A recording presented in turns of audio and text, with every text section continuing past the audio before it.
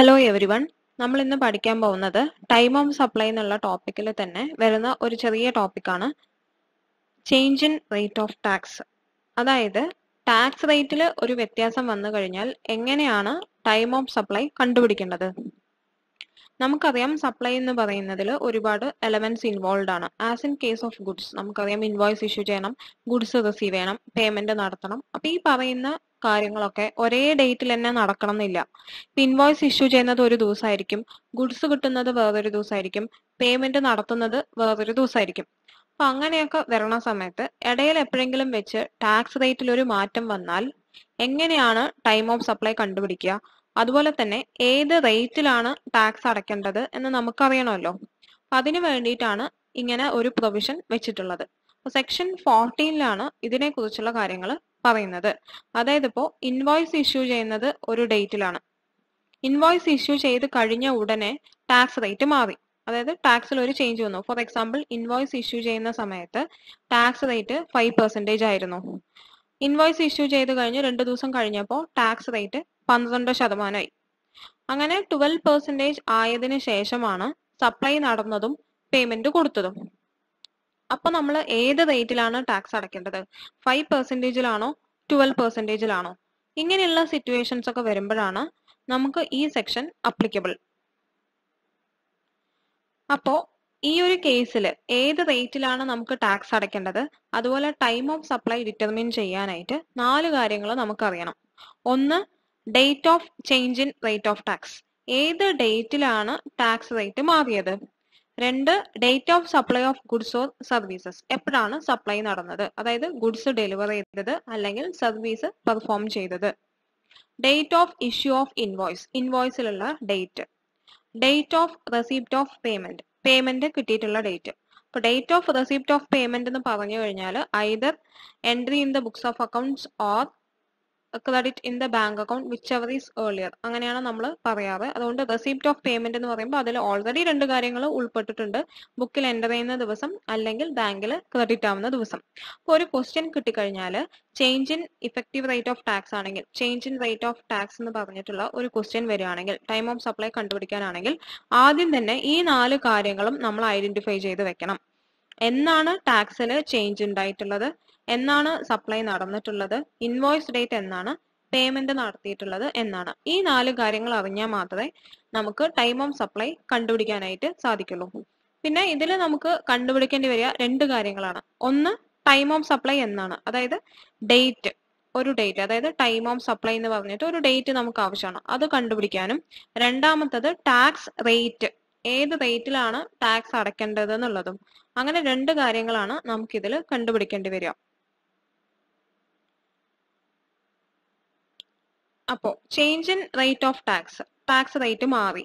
മൂന്ന് കാര്യങ്ങൾ നമുക്കറിയണം. Issue of issue of invoice supply of goods or services receipt of payment ഇനി അടുത്തത് ശ്രദ്ധിക്കേണ്ടത് നമ്മൾ ഇതിൽ റേറ്റ് ഓഫ് ടാക്സ് കണ്ടുപിടിക്കാനുള്ള സ്റ്റെപ്പാണിത്. അതായത് ഏത് റേറ്റിൽ ടാക്സ് അടയ്ക്കണം എന്ന് ചോദിച്ചുല്ലോ അതിനുള്ള ആൻസർ ആണ് ഇതിന്ന് നമുക്ക് കിട്ടാൻ പോകുന്നത്. മൂന്ന് കാര്യങ്ങൾ അതായത് ഇൻവോയ്സ് ഇഷ്യൂ ചെയ്ത ഡേറ്റ് ആക്ച്വലി സപ്ലൈ നടന്ന ഡേറ്റ് പിന്നെ പേയ്മെന്റ് റിസീവ് ചെയ്തിട്ടുള്ള ഡേറ്റ് ഈ മൂന്ന് കാര്യങ്ങളിൽ ഏതെങ്കിലും രണ്ടെണ്ണം ടാക്സ് റേറ്റ് മാറുന്നതിന് മുന്നേ തന്നെ നടന്നിട്ടുണ്ടെങ്കിൽ ഓൾഡ് റേറ്റിൽ ടാക്സ് അടച്ചാൽ മതി.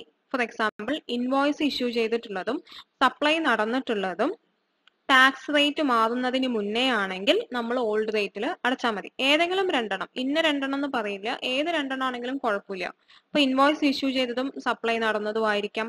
അല്ലെങ്കിൽ സപ്ലൈ നടന്നതും പേയ്മെന്റ് റിസീവ് ചെയ്തതും ആയിരിക്കാം അല്ലെങ്കിൽ ഇൻവോയ്സ് കൊടുത്തിട്ടുള്ളതും അതുപോലെ പേയ്മെന്റ് റിസീവ് ചെയ്തിട്ടുള്ളതും ടാക്സ് റേറ്റ് മാറുന്നതിന് മുന്നേ ആണെങ്കിൽ പഴയ റേറ്റിൽ ടാക്സ് അടച്ചാൽ മതി. ഏതെങ്കിലും രണ്ടെണ്ണം ടാക്സ് റേറ്റ് മാറിയ ശേഷമാണോ നടന്നിട്ടുള്ളത് എന്നുണ്ടെങ്കിൽ അതായത് ഇതിന്റെ ഓപ്പോസിറ്റ് കേസ് അങ്ങനെയുള്ള ഒരു കേസിൽ പുതിയ റേറ്റിൽ ടാക്സ് അടയ്ക്കണം. അതായത് ഇപ്പൊ ഇൻവോയ്സ് ഇഷ്യൂ ചെയ്തിട്ടുള്ളതും ഗുഡ്സ് സപ്ലൈ ചെയ്തിട്ടുള്ളതും ടാക്സ് റേറ്റ് മാറിയ ശേഷമാണെങ്കിൽ പുതിയ റേറ്റിൽ ടാക്സ് അടയ്ക്കണം. അല്ലെങ്കിൽ ഇപ്പോൾ ഇൻവോയ്സ് ഇഷ്യൂ ചെയ്തിട്ടുള്ളതും പേയ്മെന്റ് റിസീവ് ചെയ്തിട്ടുള്ളതും ടാക്സ് റേറ്റ് മാറിയ ശേഷമാണെങ്കിൽ ഏതെങ്കിലും രണ്ട് ഇവന്റ്സ് ടാക്സ് റേറ്റ് മാറുന്നതിന് മുന്നേ ആണെങ്കിൽ ഓൾഡ് റേറ്റിലും ഏതെങ്കിലും രണ്ട് ഇവന്റ്സ് ടാക്സ് റേറ്റ് മാറിയ ശേഷമാണെങ്കിൽ ന്യൂ റേറ്റിലും ആണ് അടക്കേണ്ടത്. അപ്പൊ ഇത് ഇത്രയേ ഉള്ളൂ. ഇത് സിമ്പിൾ ആണ്. അപ്പൊ നമുക്ക് പൊതുവേ രണ്ട് ടൈപ്പ് ക്വസ്റ്റ്യൻസ് ആണ് എക്സ്പെക്ട് ചെയ്യേണ്ടത്. ഒന്ന് ഏത് റേറ്റിലാണ് ടാക്സ് അടക്കേണ്ടത് എന്നുള്ള ഒരു ക്വസ്റ്റ്യൻ ടാക്സ് റേറ്റ് മാറിക്കഴിഞ്ഞാൽ ടൈം ഓഫ് സപ്ലൈന്റെ ഒപ്പം തന്നെ ഏത് റേറ്റിലാണ് ടാക്സ് അടയ്ക്കേണ്ടത് എന്നുള്ളൊരു ക്വസ്റ്റ്യൻ അതിനുള്ള ആൻസർ ആണിത് അപ്പൊ ഏതെങ്കിലും രണ്ടെണ്ണം ടാക്സ് റേറ്റ് മാറുന്നതിന് മുന്നേ തന്നെ നടന്നിട്ടുണ്ടെങ്കിൽ ഓൾഡ് റേറ്റിലും അല്ല ഏതെങ്കിലും രണ്ടെണ്ണം ടാക്സ് റേറ്റ് മാറിയ ശേഷമാണ് നടന്നിരിക്കുന്നതെങ്കിൽ ന്യൂ റേറ്റിലും അടുത്തത് നമുക്ക് ഇനി അറിയേണ്ടത് ടൈം ഓഫ് സപ്ലൈ എങ്ങനെ കണ്ടുപിടിക്കണം എന്നുള്ളതാണ്. അതും സിമ്പിൾ ആണ്. ഗുഡ്സിന്റെ കേസിൽ സെപ്പറേറ്റ് ആയിട്ടും സർവീസിന്റെ കേസിൽ സെപ്പറേറ്റ് ആയിട്ടാണ് പറയുന്നത്. ഗുഡ്സിന്റെ കേസിലാണെങ്കിൽ ഏത് സിറ്റുവേഷൻ ആണെങ്കിലും ടൈം ഓഫ് സപ്ലൈ എന്ന് പറയുന്നത് ഡേറ്റ് ഓഫ് ഇൻവോയ്സ് ആണ്. കാരണം നിങ്ങൾക്ക് ഓർമ്മയുണ്ടെങ്കിൽ അറിയാം നമ്മൾ time of supply in case of goods പഠിച്ചപ്പോൾ അതിൽ ടൈം ഓഫ് സപ്ലൈ കണ്ടുപിടിക്കാൻ ഡേറ്റ് ഓഫ് ഇൻവോയ്സ് അല്ലെങ്കിൽ due date for issue of invoice whichever is earlier അങ്ങനെ ഒരു പ്രൊവിഷൻ ആണ് പഠിച്ചിട്ടുണ്ടായിരുന്നത് കാരണം നമുക്കൊരു നോട്ടിഫിക്കേഷൻ ഉണ്ടായിരുന്നു. Notification number sixty six bar two thousand seventeen dated fifteen eleven two thousand seventeen പ്രകാരം ഡേറ്റ് ഓഫ് പേയ്മെന്റ് ഗുഡ്സിന്റെ കേസിൽ നമുക്ക് ഇറലവെന്റ് ആണ്. അതുകൊണ്ട് തന്നെ change in rate of tax ആണെങ്കിലും ടാക്സ് റേറ്റ് മാറുന്ന ഒരു സിറ്റുവേഷനിലാണെങ്കിലും ടൈം ഓഫ് സപ്ലൈ എന്ന് പറയുന്നത് ഗുഡ്സിന്റെ കേസിൽ എപ്പോഴും ഡേറ്റ് ഓഫ് ഇൻവോയ്സ് തന്നെ ആണ്. റേറ്റ് പിന്നെ നമ്മളിപ്പോ കണ്ടുപിടിക്കാൻ പറഞ്ഞല്ലോ ആ രീതിയിൽ നമുക്ക് കണ്ടുപിടിക്കാം. ഈ ഒരു എക്സാമ്പിൾ ഈ ആറ് എക്സാമ്പിൾ നോക്കിക്കഴിഞ്ഞാൽ തന്നെ നിങ്ങൾക്ക് മനസ്സിലാവും. ഇതിൽ സപ്ലൈ നടക്കുന്നത് ബിഫോർ എന്ന് എഴുതിയിട്ടുള്ളത് before change in tax rate ആണ്. ആഫ്റ്റർ എന്ന് എഴുതിയിട്ടുള്ളത് after change in tax rate ആണ്. ഫസ്റ്റത്തെ എക്സാമ്പിളിൽ സപ്ലൈ നടക്കുന്നത് ബിഫോർ ചേഞ്ചും ഇൻവോയ്സ് ഇഷ്യൂ ചെയ്തത് ആഫ്റ്റർ ചേഞ്ച് പേയ്മെന്റ് നടത്തിയിട്ടുള്ളത് ആഫ്റ്റർ ചേഞ്ച് രണ്ടെണ്ണം ആഫ്റ്റർ ആണ് അല്ലെ? അപ്പൊ ഏത് റേറ്റ് ആയിരിക്കും? ന്യൂ റേറ്റ് ഒന്നുമില്ല ഏതെങ്കിലും രണ്ടെണ്ണം ഏത് ഭാഗത്ത് പെടണോ നോക്കുക. ടാക്സ് റേറ്റ് മാറുന്നതിന് മുന്നേ ആണെങ്കിൽ ഓൾഡ് റേറ്റ് അല്ല രണ്ടെണ്ണം ടാക്സ് റേറ്റ് മാറിയ ശേഷമാണെങ്കിൽ ന്യൂ റേറ്റ് ന്യൂ റേറ്റ് ഇത് അങ്ങനെയാണ് കണ്ടുപിടിക്കേണ്ടത്. പിന്നെ ടൈം ഓഫ് സപ്ലൈ നമുക്ക് കണ്ടുപിടിക്കാൻ ഗുഡ്സിന്റെ കേസിൽ ഒന്നും നോക്കണ്ട. എപ്പോഴും ഡേറ്റ് ഓഫ് ഇൻവോയ്സ് ആണ്. കാരണം ഇങ്ങനെ ഒരു നോട്ടിഫിക്കേഷൻ വന്നുകൊണ്ട് സെക്ഷൻ ട്വൽവിൽ നോട്ടിഫിക്കേഷൻ വഴി അവർ മാറ്റിയത് കൊണ്ട് സെക്ഷൻ ഫോർട്ടീനിലും അതേ ചേഞ്ച് കൊണ്ടുവന്നു. അതുകൊണ്ട് തന്നെ ഗുഡ്സിന്റെ കേസിൽ എപ്പോഴും time of supply in case of change in rate of tax എപ്പോഴും ഡേറ്റ് ഓഫ് ഇൻവോയ്സ് ആയിരിക്കും. അതായത് ടാക്സ് റേറ്റിൽ വ്യത്യാസം വരണ സിറ്റുവേഷനിൽ കേട്ടോ.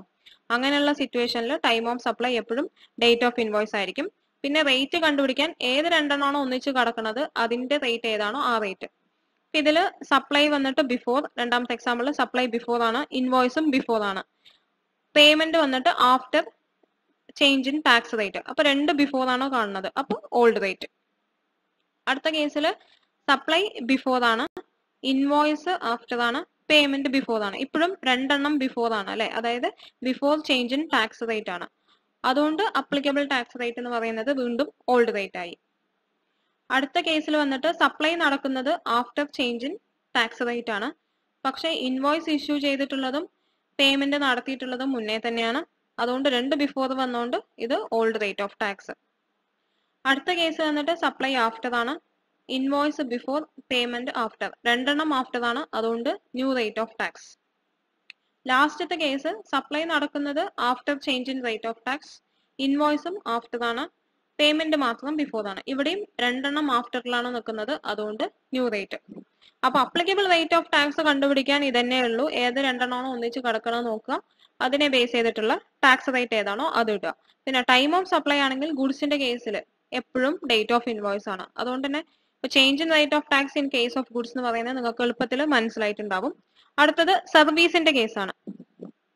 സർവീസിന്റെ കേസിലാണെങ്കിലും റേറ്റ് ഓഫ് ടാക്സ് കണ്ടുപിടിക്കാൻ അതേ നിയമം തന്നെയാണ്. അതുകൊണ്ട് സെയിം റിപ്പീറ്റേഷൻ ആണ് ഇവിടെ തന്നിട്ടുള്ളത്. അതുകൊണ്ട് ഞാൻ ഇത് വീണ്ടും പറയുന്നില്ല. നമ്മൾ നേരത്തെ ഗുഡ്സിൽ പറഞ്ഞ അതേ കാര്യമാണ് ഇവിടെയും ഉള്ളൂ. അതേപോലെ തന്നെ ഒരേപോലെ വരണത് രണ്ടെണ്ണം എവിടെയാ നോക്കുക? ഇത് രണ്ടും ആഫ്റ്റർ ആണ്. അതുകൊണ്ട് ന്യൂ റേറ്റ് സെയിം തിങ് തന്നെ റിപ്പീറ്റേഷൻ ആണ്. അതുകൊണ്ട് അത് നോക്കുന്നില്ല. നമുക്ക് ടൈം ഓഫ് സപ്ലൈ മാത്രം നോക്കാം. ടൈം ഓഫ് സപ്ലൈ എങ്ങനെയാണ് കണ്ടുപിടിക്കേണ്ടത്? അതിനും ഒരു എളുപ്പവഴിയുണ്ട്. എളുപ്പവഴി എളുപ്പ വഴി എന്താന്ന് ചോദിച്ചു കഴിഞ്ഞാൽ സപ്ലൈന്റെ കാര്യം നോക്കുക. സപ്ലൈ ഇപ്പോൾ before change in rate of tax ആണ് അല്ലേ? അപ്പോൾ സപ്ലൈയുടെ കൂടെ നിൽക്കണ ആൾ ആരാ നോക്കുക? സപ്ലൈയുടെ കൂടെ ആരെങ്കിലും നിൽക്കുന്നുണ്ടെങ്കിൽ അയാളാണ് ടൈം ഓഫ് സപ്ലൈ അപ്പോൾ അത് ഒന്നാമത്തെ എക്സാമ്പിൾ നമുക്ക് ശരിയാവില്ല ഞാൻ രണ്ടാമത്തെ എക്സാമ്പിൾ പറയാം. അപ്പോൾ രണ്ടാമത്തെ എക്സാമ്പിളിൽ supply before change in rate of tax ആണ്. കൂടെ നിൽക്കുന്നത് ആരാ? ഇൻവോയ്സ് അല്ലെ? ഇൻവോയ്സും ബിഫോർ ആണ് അപ്പോൾ ഡേറ്റ് ഓഫ് ഇൻവോയ്സ് അടുത്ത കേസിൽ സപ്ലൈ ബിഫോർ ഇൻവോയ്സ് വന്നിട്ട് ആഫ്റ്റർ ആണ് പേയ്മെന്റോ പേയ്മെന്റ് ബിഫോർ ആണ് സപ്ലൈയുടെ കൂടെ നിൽക്കുന്നത് പേയ്മെന്റ് ആണ്. അതുകൊണ്ട് ഡേറ്റ് ഓഫ് പേയ്മെന്റ് അല്ലേ? രണ്ടുപേരും നമ്മുടെ കൂടെ നിൽക്കുന്നില്ല രണ്ടുപേരും നമ്മളെ ഒഴിവാക്കി. രണ്ടുപേരും സപ്ലൈയുടെ കൂടെ നിൽക്കുന്നില്ല രണ്ടുപേരും ഒന്നിച്ച് പോയിട്ട് നിൽക്കുകയാണെങ്കിൽ അതിൽ ആരാണ് ആദ്യം? അതാണ് എടുക്കേണ്ടത്. അപ്പൊ earliest of date of invoice or date of payment അത്രയേ ഉള്ളൂ.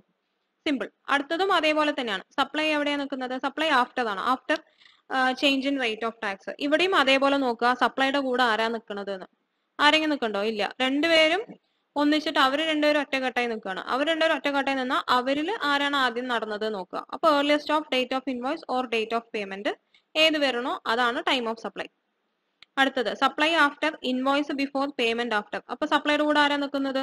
ഡേറ്റ് ഓഫ് പേയ്മെന്റ് അതുകൊണ്ട് ഡേറ്റ് ഓഫ് പേയ്മെന്റ് ആണ് ടൈം ഓഫ് സപ്ലൈ അടുത്ത കേസിൽ സപ്ലൈ ആഫ്റ്റർ ആണ് ഇൻവോയ്സ് ആഫ്റ്റർ പേയ്മെന്റ് ബിഫോർ അപ്പോൾ ഇൻവോയ്സ് ആഫ്റ്റർ ആണ് അതുകൊണ്ട് ഡേറ്റ് ഓഫ് ഇൻവോയ്സ് അപ്പൊ ഇതും എളുപ്പത്തിൽ അങ്ങനെ പഠിച്ചു വെക്കാൻ നമുക്ക് പറ്റും. ഗുഡ്സിന്റെ കേസിലാണെങ്കിൽ എപ്പോഴും ഡേറ്റ് ഓഫ് ഇൻവോയ്സ് ആണ്. സർവീസിന്റെ കേസിലാണെങ്കിൽ ആരാണ് സപ്ലൈഡ് ഒപ്പം നിൽക്കുന്നത് നോക്കുക. Supply before change in rate of tax ആണെങ്കിൽ സപ്ലൈയുടെ കൂടെ നടന്നിട്ടുള്ളത് ആരാണോ അയാളാണ് time of supply in case രണ്ടും സപ്ലൈയുടെ അതേ ടൈമിൽ നടന്നിട്ടില്ല. After change in rate of tax ആണ് രണ്ടുപേരും ഒന്നിച്ച് നടന്നിരിക്കുന്നത്. രണ്ടും after change in rate of tax ആണെങ്കിൽ earliest of date of invoice or date of payment അപ്പൊ ഇത് മനസ്സിലായിട്ടുണ്ടാവുമെന്ന് വിചാരിക്കണം ഇത് അത്രയ്ക്ക് കോംപ്ലിക്കേഷൻ ഒന്നുമില്ല. ഈ ഇത് ഇങ്ങനെ മനസ്സിലാക്കി വെച്ചാൽ എളുപ്പത്തിൽ തന്നെ നമുക്ക് കണ്ടുപിടിക്കാനായിട്ട് സാധിക്കും. അടുത്തത് date of receipt of payment ആണ്. Date of receipt of payment നമുക്കറിയാം. Normal കേസസിൽ date of receipt of payment എന്ന് പറയുന്നത് earliest of date of entering payment in the books of accounts or date when payment gets credited to bank account എപ്പോഴാണ് ബുക്സിൽ നമ്മൾ entry നടത്തുന്നത് അല്ലെങ്കിൽ bank അക്കൗണ്ടിൽ credit ആവുന്നത്. ഏതാണോ ആദ്യം നടക്കുന്നത് അതിനെയാണ് പൊതുവെ നമ്മൾ date of receipt of payment എന്ന് വിളിക്കാറ്. പക്ഷേ റേറ്റ് ഓഫ് ടാക്സിൽ വ്യത്യാസം വരണ സമയത്ത് മാത്രം ഒരു അഡീഷണൽ പ്രൊവിഷൻ കൂടെ നോക്കാനുണ്ട്. അതെന്താന്ന് വെച്ച് കഴിഞ്ഞാൽ payment entered in books of accounts ആദ്യം നമ്മൾ ബുക്സിൽ ഇപ്പൊ ചെക്ക് കിട്ടുമ്പോൾ നമ്മൾ ചെക്ക് കിട്ടി എന്ന് പറഞ്ഞ് എഴുതി വെച്ചു. അങ്ങനെ എഴുതി വെച്ച ശേഷം എന്ത് സംഭവിച്ചു? ടാക്സ് റേറ്റ് മാറി. ഇപ്പൊ ഇന്ന് എനിക്ക് ചെക്ക് കിട്ടി. ഇന്ന് ഞാൻ ബുക്കിൽ പേയ്മെന്റ് കിട്ടി എന്ന് പറഞ്ഞ് എഴുതി വെച്ചു. പക്ഷെ ഇന്നാണ് പുതിയ നോട്ടിഫിക്കേഷൻ വന്നിട്ട് ടാക്സ് റേറ്റ് മാറി. എനിക്ക് പെട്ടെന്ന് കൊണ്ടുപോയി ചെക്ക് ഇടാനൊന്നും പറ്റിയില്ല. രണ്ട് മൂന്ന് ദിവസം ഡിലേ ആയി. അങ്ങനെ എന്റെ ബാങ്ക് അക്കൗണ്ടിൽ അത് ക്രെഡിറ്റ് ആയത് ഒരു ഫൈവ് വർക്കിംഗ് ഡേയ്സ് കഴിഞ്ഞിട്ടാണ് വിചാരിക്കാം. അല്ലെങ്കിൽ ഫോർ വർക്കിംഗ് ഡേയ്സ് കഴിഞ്ഞിട്ട്. ഫോർ വർക്കിംഗ് ഡേയ്സ് കഴിഞ്ഞിട്ടാണ് എന്റെ ബാങ്ക് അക്കൗണ്ടിൽ credit ആയതെങ്കിൽ date of receipt of payment എന്ന് പറയുന്നത് ബാങ്കിൽ ക്രെഡിറ്റ് ആയിട്ടുള്ള ദിവസമാണ്. അല്ലാതെ ബുക്സിൽ എന്റർ ചെയ്ത ദിവസം അവിടെ നോക്കാൻ പറ്റില്ല. അതായത് നോർമൽ സിറ്റുവേഷൻസിൽ നമുക്ക് date of receipt of payment എന്ന് പറയുന്നത് whichever is earlier earlier of date of entering payment in books of accounts or date when payment gets credited to bank account എപ്പോഴാണ് ബുക്സിൽ എന്റർ ചെയ്യുന്നത്? അല്ലെങ്കിൽ ബാങ്ക് അക്കൗണ്ടിൽ ക്രെഡിറ്റ് ആവുന്ന ദിവസം. അതിൽ ഏതാണോ ആദ്യം നടക്കുന്നത്? അതിനെയാണ് date of receipt of payment എന്ന് പറയുന്നത്. പക്ഷേ ഇങ്ങനെ ഒരു സിറ്റുവേഷനിൽ അതായത് നമുക്കിപ്പോൾ ചെക്ക് കിട്ടി നമ്മളത് ബുക്കിൽ എഴുതി വെച്ചു. അതിനുശേഷമാണ് ടാക്സ് റേറ്റിൽ വ്യത്യാസം വന്നത്. അങ്ങനെ ടാക്സ് റേറ്റിൽ വ്യത്യാസം വന്നു കഴിഞ്ഞാൽ ടാക്സ് റേറ്റിൽ വ്യത്യാസം വന്നിട്ട് നാല് ദിവസത്തിനുള്ളിൽ ബാങ്കിൽ ക്രെഡിറ്റ് ആവുകയാണെങ്കിൽ ഓക്കെ ഈ പ്രൊവിഷൻസ് തന്നെയാണ് അപ്ലിക്കബിൾ അതേസമയം ടാക്സ് റേറ്റിൽ വ്യത്യാസം വന്നിട്ട് നാല് വർക്കിംഗ് ഡേയ്സിനുള്ളിൽ നമ്മുടെ ബാങ്ക് അക്കൗണ്ടിൽ ക്രെഡിറ്റ് ആയിട്ടില്ല വിചാരിക്കുക. നാല് ദിവസമായിട്ടും നാല് വർക്കിംഗ് ഡേയ്സ് ആയിട്ടും നമ്മുടെ ബാങ്ക് അക്കൗണ്ടിൽ credit ആയിട്ടില്ലെങ്കിൽ date of receipt of payment എന്ന് പറയുന്നതിൽ ഈ ഒരു പോയിന്റ് നമുക്ക് നോക്കാൻ പറ്റില്ല. ഇത് നമുക്ക് നോക്കാൻ പറ്റില്ല. Date when payment gets credited to bank account മാത്രമാണ് അങ്ങനെ ഒരു സിറ്റുവേഷനിൽ അപ്ലിക്കബിൾ മനസ്സിലായി എന്ന് വിചാരിക്കണോ. അതായത് ഒന്നുമില്ല. ഇപ്പൊ change in rate of tax വന്നു കഴിഞ്ഞാൽ ടാക്സ് റേറ്റ് മാറിയിട്ട് നാല് ദിവസത്തിനുള്ളിൽ നമ്മുടെ ബാങ്കിൽ ക്രെഡിറ്റ് ആവണമെങ്കിൽ മാത്രമേ ഈ രണ്ട് പോയിന്റ് എടുക്കാൻ പറ്റുള്ളൂ. നാല് ദിവസമായിട്ടും നമ്മുടെ ബാങ്ക് അക്കൗണ്ടിൽ ക്രെഡിറ്റ് ആയിട്ടില്ലെങ്കിൽ പിന്നെ ഇത് നോക്കണ്ട. ബുക്കിൽ എന്ന് എഴുതിയെന്ന് നമ്മൾ നോക്കണ്ട. നേരെ രണ്ടാമത്തെ കാര്യം നോക്കിയാൽ മതി. Date when payment gets credit to bank account ആ ഡേറ്റിനെയാണ് date of receipt of payment ആയിട്ട് എടുക്കുക. അപ്പൊ നമുക്ക് ഇതിന്റെ ക്വസ്റ്റ്യൻസിലേക്ക് പോവാം. അപ്പോൾ ഇന്ന് നമ്മൾ പഠിച്ചതാകെ കുറച്ച് കാര്യമേ പഠിച്ചിട്ടുള്ളൂ. Change in rate of tax വന്നു കഴിഞ്ഞാൽ ഏത് റേറ്റ് എടുക്കണം എന്നുള്ളത് എങ്ങനെ കണ്ടുപിടിക്കാം? അപ്പൊ അതിൽ ഏത് രണ്ട് ഇവന്റ്സ് ആണോ ഒന്നിച്ച് നടന്നിട്ടുള്ളത് അതിനനുസരിച്ചിട്ടാണ് ഓൾഡ് റേറ്റ് ആണോ ന്യൂ റേറ്റ് ആണോ എന്നുള്ളത് വരിക. രണ്ടാമത് പിന്നെ പഠിച്ചത് ഗുഡ്സിന്റെ കേസിൽ എങ്ങനെയാണ് ടൈം ഓഫ് സപ്ലൈ അപ്പൊ ഗുഡ്സിന്റെ കേസിൽ നമ്മൾ പറഞ്ഞു ഒന്നും നോക്കണ്ട എപ്പോഴും ഡേറ്റ് ഓഫ് ഇൻവോയ്സ് ആണ് എടുക്കേണ്ടത്. അടുത്തത് സർവീസിന്റെ കേസിൽ സർവീസിന്റെ കേസിലും ഒരു എളുപ്പ വഴി പറഞ്ഞു തന്നിട്ടുണ്ടായിരുന്നു സപ്ലൈയുടെ കൂടെ നിൽക്കുന്നത് ആരാ നോക്കുക? ആ ഡേറ്റ് ആണ് time of supply in case രണ്ടുപേരും സപ്ലൈയുടെ കൂടെ നിൽക്കുന്നില്ലെങ്കിൽ ഏതാണോ ഏർലിയർ അത് എടുക്കുക. അത്രയേ ഉള്ളൂ. ഫസ്റ്റത്തെ question Mister X supplied goods to Mister Y on twenty eighth January twenty twenty okay goods supply ചെയ്ത് twenty eighth ജാനുവരിക്കാണ് G S T rate on goods change from twelve percentage to five percentage with effect from first January twenty twenty okay ഇരുപത്തെട്ടാം തീയതി സാധനം കൊടുത്തു. Tax rate മാറിയത് first ജാനുവരിക്കാണ് ആദ്യം tax rate മാറി എന്നിട്ടാണ് സപ്ലൈ നടന്നിരിക്കുന്നത്. ഗുഡ്സിന്റെ കേസാണ് അപ്പോ എന്തും ഒന്നും നോക്കേണ്ട കാര്യമില്ല അല്ലെ? ടൈം ഓഫ് സപ്ലൈ എന്ന് പറയുന്നത് ഡേറ്റ് ഓഫ് ഇൻവോയ്സ് ആണ്. എന്നാലും നമുക്ക് ക്വസ്റ്റ്യൻ ഒന്ന് വായിക്കാം. Mister X issued invoice on twenty eight August two thousand nineteen and payment is credited to his bank account on thirtieth December two thousand nineteen what is the time of supply in this case effective rate of G S T രണ്ട് കാര്യങ്ങൾ കണ്ടുപിടിക്കണം. ഒന്ന് time of supply എന്താണ്? എന്നാണ്. പിന്നെ tax rate ഏതായിരിക്കും എന്നുള്ളത്. അപ്പൊ നമുക്കറിയാം change in rate of tax വന്നു കഴിഞ്ഞാൽ ഗുഡ്സിന്റെ കേസിൽ ഒന്നും നോക്കാനില്ല. ടൈം ഓഫ് സപ്ലൈ എന്ന് പറയുന്നത് ഡേറ്റ് ഓഫ് ഇൻവോയ്സ് ആണ്. അപ്പൊ ഇതിൽ ഡേറ്റ് ഓഫ് ഇൻവോയ്സ് എന്ന് പറയുന്നത് twenty eight August two thousand nineteen അത് നമുക്ക് ഡയറക്റ്റ് ആയി കിട്ടി. അടുത്തത് effective rate of G S T അതായത് ഫൈവ് പെർസെന്റേജ് ആണോ ട്വൽവ് പെർസെന്റേജ് ആണോ എന്ന് അറിയണം. അപ്പൊ ഏത് രണ്ട് കാര്യങ്ങളാണ്? ഇപ്പോൾ ടാക്സ് റേറ്റ് മാറുന്നതിന് മുന്നേ ഏതെങ്കിലും രണ്ട് കാര്യങ്ങൾ നടന്നിട്ടുണ്ടെങ്കിൽ പഴയ റേറ്റും അല്ല ടാക്സ് റേറ്റ് മാറിയ ശേഷമാണ് രണ്ട് കാര്യങ്ങൾ നടന്നിട്ടുള്ളതെങ്കിൽ ന്യൂ റേറ്റും ഇപ്പൊ ഇതിൽ ടാക്സ് റേറ്റ് മാറിയത് ഫസ്റ്റ് ജാനുവരി ട്വന്റി ട്വന്റിക്കാണ് അപ്പൊ ട്വന്റി ഫസ്റ്റ് ജാനുവരി ട്വന്റി ട്വന്റിക്ക് മുന്നേ ഏതെങ്കിലും രണ്ട് ഇവന്റ്സ് നടന്നിട്ടുണ്ടെങ്കിൽ നമുക്ക് ഓൾഡ് റേറ്റ് എടുക്കാം. ഇത് ട്വന്റി എയ്ത്ത് ജാനുവരിക്കാണ് അതായത് ടാക്സ് റേറ്റ് മാറിയ ശേഷം. ഇത് ഒരെണ്ണം. അപ്പൊ അതിനുശേഷം ആഫ്റ്റർ ആണ് ഇതോ ഇൻവോയ്സ് ട്വന്റി എയ്ത്ത് ഓഗസ്റ്റ് അല്ലെ അപ്പൊ ബിഫോർ ആണ് പേയ്മെന്റും ബിഫോർ ആണ് ഡിസംബറിലാണ് അല്ലെ? അപ്പൊ രണ്ട് കാര്യങ്ങൾ before change in rate of tax നടന്നിട്ടുണ്ട്. അതുകൊണ്ട് ഇഫക്റ്റീവ് റേറ്റ് എന്ന് പറയുന്നത് നമുക്ക് ഓൾഡ് റേറ്റ് ആണ് അതായത് ട്വൽവ് പെർസെന്റേജ് ആണ്. അടുത്തത് സർവീസിന്റെ ഒരു ക്വസ്റ്റ്യൻ ആണ് change in rate of tax in case of services. X private limited engaged in providing taxable services by way of training and coaching activities in relation to accounting and auditing since first July ഇപ്പൊ year twenty twenty എന്ന് എടുക്കാം. Twenty twenty it has the following details in respect of that activity ഒരു service ആണ്. അപ്പൊ invoice date തന്നിട്ടുണ്ട് payment തന്നിട്ടുണ്ട് amount തന്നിട്ടുണ്ട്. The date of change in effective rate of tax in this case is one ten two thousand twenty twenty from twelve percentage to eighteen percentage these services are rendered in August 2020 find the time of supply of service comma effective rate of tax അപ്പൊ എന്നാണ് supply നടന്നിട്ടുള്ളത്? Supply നടന്നിട്ടുള്ളത് ഓഗസ്റ്റിലാണ് അല്ലെ? സർവീസിന്റെ കേസിൽ നമ്മൾ എന്താ പഠിച്ചത്? Time of supply കണ്ടുപിടിക്കണമെന്നുണ്ടെങ്കിൽ ടൈം ഓഫ് സപ്ലൈ കണ്ടുപിടിക്കണമെന്നുണ്ടെങ്കിൽ സപ്ലൈയുടെ കൂടെ നിൽക്കുന്ന ആളെയാണ് കൂട്ടുപിടിക്കേണ്ടത് അല്ലെ? സപ്ലൈയുടെ കൂടെ ആരെങ്കിലും ഉണ്ടെങ്കിൽ അയാൾ അയാളായിരിക്കും ടൈം ഓഫ് സപ്ലൈ നമുക്ക് ഓരോന്നായിട്ട് നോക്കാം. ഇൻവോയ്സ് ഇഷ്യൂ ചെയ്തിട്ടുള്ളത് സിക്സ്റ്റീൻ നയനിലാണ് അതായത് നമുക്ക് സെപ്റ്റംബറിലാണ് പേയ്മെന്റ് കിട്ടിയിട്ടുള്ളത് ഒക്ടോബറിലാണ്. എമൗണ്ട് തന്നിട്ടുണ്ട് എമൗണ്ട് ഇപ്പൊ നമുക്ക് തൽക്കാലത്തേക്ക് റെലവെന്റ് അല്ല. അത് ജസ്റ്റ് അവർ ആൻസറിൽ എഴുതണമെന്നേ ഉള്ളൂ. അപ്പോൾ ഇൻവോയ്സ് ഇഷ്യൂ ചെയ്തത് ഓഗസ്റ്റിലാണ്. സർവീസ് നടന്നിട്ടുള്ളത് ഓഗസ്റ്റിലാണ്. പേയ്മെന്റ് നടന്നിട്ടുള്ളത് ഒക്ടോബറിലാണ്. എന്നാണ് ടാക്സ് റേറ്റ് മാറിയത്? വൺ ടെൻ ഒക്ടോബറിലാണ് ടാക്സ് റേറ്റ് മാറിയത്. അപ്പോൾ service rendered before change in rate of tax invoice issued before change in rate of tax payment received after അപ്പൊ ഇതിൽ രണ്ടെണ്ണം ബിഫോർ ഉണ്ട്. അതുകൊണ്ട് നമുക്കറിയാം രണ്ടെണ്ണം before change in rate of tax ആണെങ്കിൽ ടാക്സ് റേറ്റ് എന്ന് പറയുന്നത് പഴയ റേറ്റ് ആണ്. അതുകൊണ്ട് ട്വൽവ് പെർസെന്റേജ് പിന്നെ ഇത് രണ്ടെണ്ണം ബിഫോർ ആണ് അല്ലെ? അപ്പൊ സർവീസിന്റെ കൂടെ നിൽക്കുന്ന ആളെ നോക്കുക. സർവീസിന്റെ കൂടെ നിൽക്കുന്നത് ആരാണ്? ഇൻവോയ്സ് ആണ്. അതുകൊണ്ട് ടൈം ഓഫ് സപ്ലൈ എന്ന് പറയുന്നത് ഇൻവോയ്സ് ഡേറ്റ് ആണ്. രണ്ടാമത്തെ കേസിൽ സർവീസ് ഓഗസ്റ്റിലാണ്. ഇൻവോയ്സ് ഇഷ്യൂ ചെയ്തത് ട്വന്റി ടെൻ ആണ്. അതായത് റേറ്റ് ഓഫ് ടാക്സ് മാറിയ ശേഷം പേയ്മെന്റ് റിസീവ് ചെയ്തതും ആഫ്റ്റർ ആണ്. അതായത് സപ്ലൈയുടെ കൂടെ ആരും നിൽക്കുന്നില്ല. ടാക്സ് റേറ്റ് ഒക്ടോബർ ഒന്നാം തീയതി മാറി. അതിനുശേഷമാണ് രണ്ട് കാര്യങ്ങളും നടന്നത്. ഇത് ബിഫോർ ഇത് ആഫ്റ്റർ ഇത് ആഫ്റ്റർ അപ്പൊ രണ്ടെണ്ണം ആഫ്റ്ററിലാണ് നിൽക്കുന്നത്. അപ്പോൾ രണ്ടെണ്ണം ടാക്സ് റേറ്റ് മാറിയ ശേഷം ആയതുകൊണ്ട് ഇഫക്റ്റീവ് റേറ്റ് ഓഫ് ടാക്സ് എന്ന് പറയുന്നത് ന്യൂ റേറ്റ് ആയിരിക്കും.